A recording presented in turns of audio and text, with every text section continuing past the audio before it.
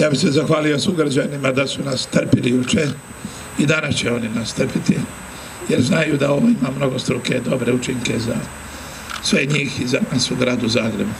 Pa jedan pljesak za naše sugrađane koji danas malo trpe prvo nedostatak prometa na Hrvatske gradske zajednice. Neka svih 96 natjecatelja završi sretno, neka pobjedi najbolji.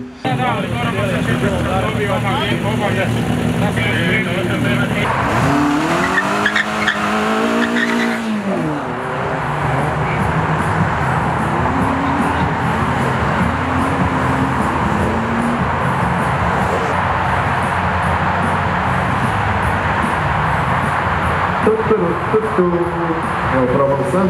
Imamo friške baterije, nova struja u žilama.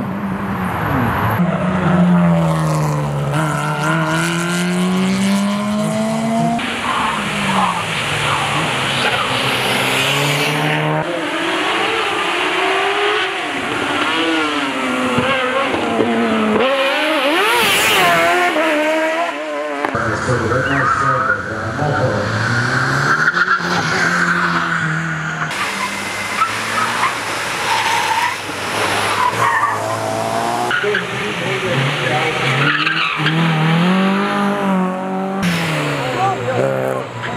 look, look.